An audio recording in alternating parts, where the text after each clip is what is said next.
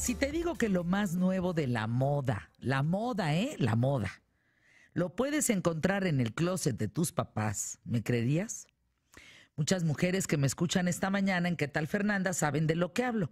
Y los hombres también. Sobre todo aquellos que descubrieron los sombreros, las boinas, los chalecos. No por nada Gucci, Prada, Valenciaga renovaron sus colecciones bajo estos parámetros recientemente.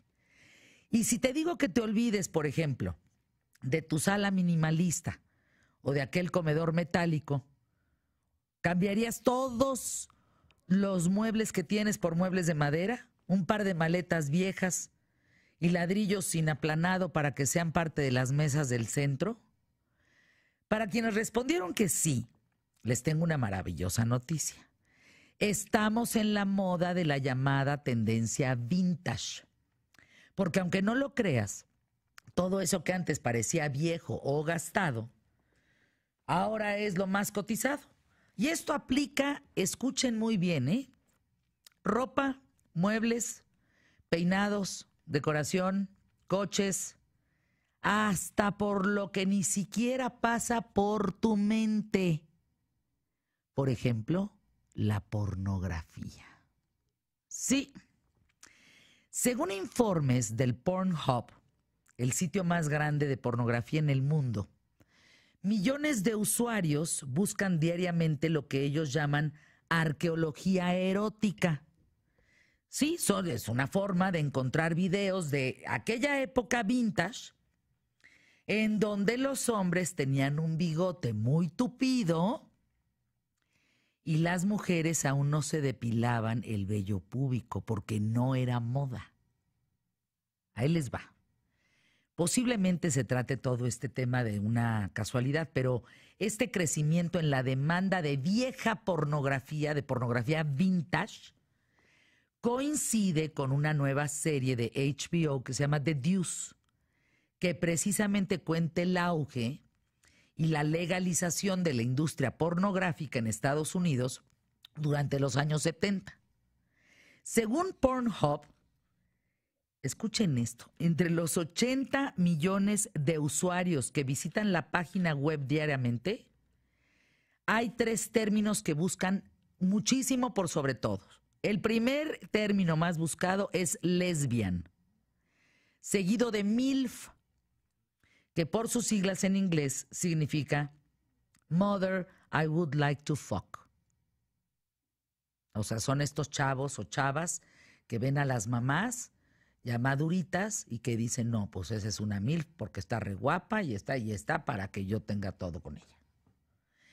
Y el tercer lugar se discute entre dos términos, amateur y vintage, buscado por 80 millones de usuarios en la página de, del Pornhub.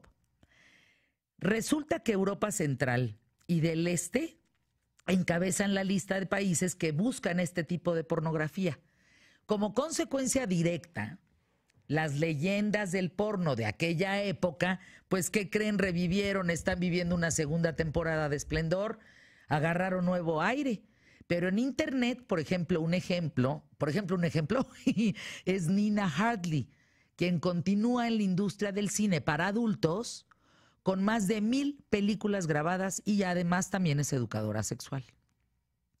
Otras personalidades de la pornografía que están brillando nuevamente son Kay Parker, Peter North, Blake Mitchell, Ron Jeremy, Ginger Lynn, otro que es Christian Canyon, otra que es Linda Lovelace, John Holmes, Juliette Anderson. Esos son vintage, ¿eh? Estuvieron en la época de los 70 y bolas, ya volvieron, porque la moda es lo vintage, así como en muebles, también en la pornografía. Sin embargo, para algunos sociólogos es desconcertante que se busquen estas grabaciones donde predominan las curvas, el saxofón de fondo, si tomamos en cuenta que se trata de una industria donde a diario hay un esfuerzo para renovarse y que siga produciendo ganancias millonarias. Una de las posibles razones también se deduce por el comportamiento de los, usuarios en estos sitios. Cada vez más son los adultos que aprenden a utilizar las nuevas tecnologías y la misma nostalgia los hace buscar la pornografía que veían en los años 70 y 80. Y por si alguna duda, pues los datos no mienten. Los que buscan porno vintage están en el, rango, de edad de 45 a 60 años. Hay otra explicación de por qué se busca lo vintage, y es muy lógica, ¿eh? Las nuevas generaciones que buscan este tipo de pornografía lo hacen por verla como algo novedoso, ya que tienen un carácter más cinematográfico, con un estilo más underground, en el que las historias que ocurren entre las escenas sexuales, pues es que superan mucho la rapidez de las actuales. Porque las escenas, las películas actuales son pues, rápidas. Fíjense los segundos que uno entra a ver pornografía, ¿eh? ahí les va. Pero viene un, ahorita les comento ese tema, pero viene un, un caso irrefutable, que es un ejemplo que nos demuestra esto de las escenas sexuales superan mucho la rapidez de las películas actuales. Por ejemplo, de esto se van a acordar mucho de ustedes. Las películas eróticas de aquella época son consideradas hoy como joyas del ser séptimo arte o de culto. Ahí les va una. Garganta profunda. ¿Quién vio Garganta profunda de la gente que me escucha? Era la historia de Linda interpretada por Linda Lovelace, la que les acabo de decir que ya volvió a ser famosa, quien descubre que tiene el clítoris en la garganta. Sascuas, pues sí. Y solo es a través del sexo oral que puede obtener placer que nunca había experimentado. Imagínense esa historia en, en hoy, cuando hoy la porno es precoz, termina bien pronto, es así rapidito, ¿no? Y entonces esta que por lo menos había una historia que tenía en la garganta y entonces había que... Entonces eso los vuelve locos.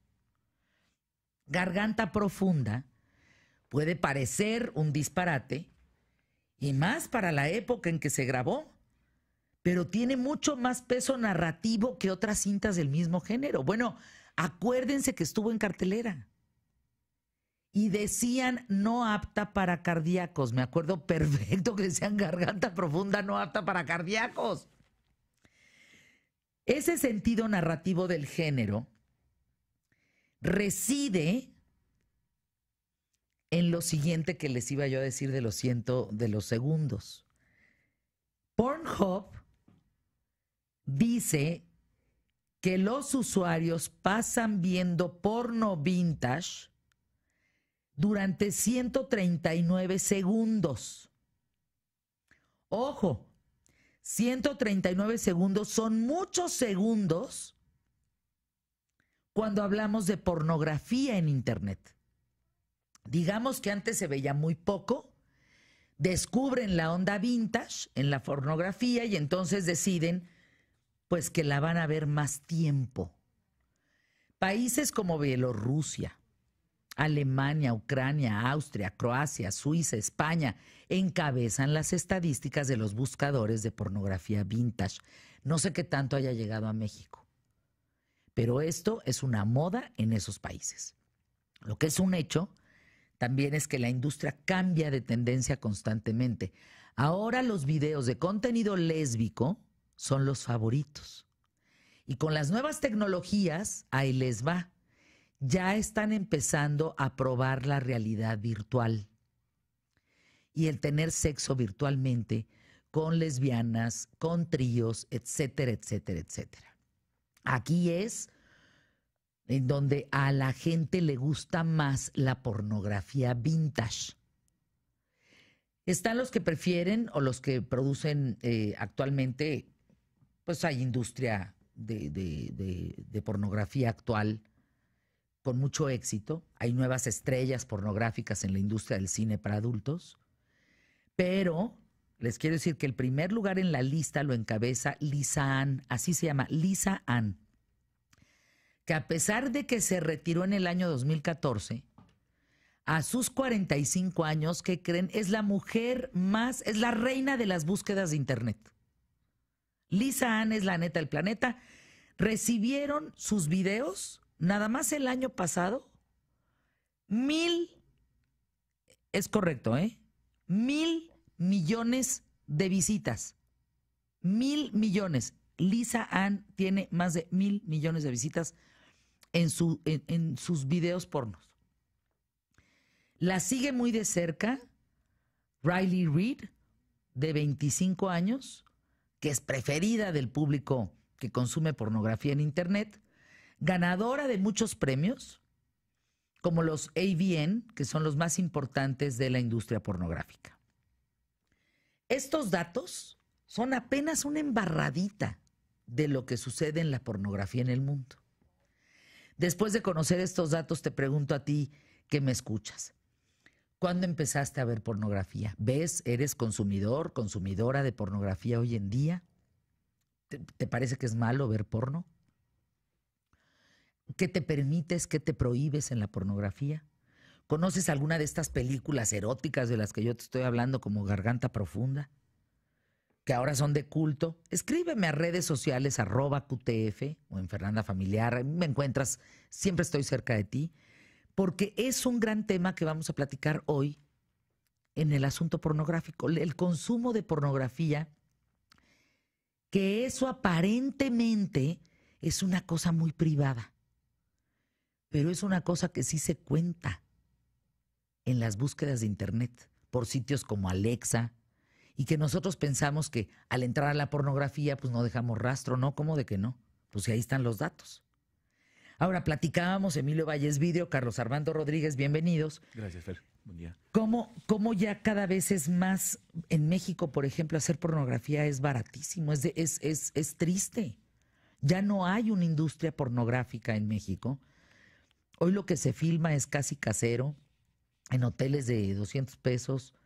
O sea, ya no, ya no existe eso. Ya, ya no hay glamour, digamos, en el entorno pornográfico, pues. Usaste una palabra perfecta, el glamour que rodeaba la pornografía en los 70, en los 80 y todo este asunto del misticismo de los, de los eh, actores porno que de alguna manera pues se daban a conocer y que de ahí surge precisamente, si ustedes vieron esta, esta historia de Garganta Profunda de la actriz. ¿Tú la viste? De, sí, sí, sí, de cómo se veía, de, la biografía de esta, de, que hicieron de esta mujer de cómo entra la industria porno y de todo lo que había detrás. Y todo el dinero que se manejaba detrás de ello era tremendo. Pero que ahora, pues de alguna manera, eh, a través de las nuevas tecnologías, los teléfonos, la forma en cómo se graba, pues ya realmente se ha abaratado demasiado. Entonces ya hacer un video casero y luego venderlo este, en el pues sacarlo del motel La Raza y venderlo en el tianguis, pues ya se ha vuelto así de, de 10 pesos. Bueno, eso pensamos en grandes ciudades. Imagínense en, en, en localidades no tan grandes como una ciudad,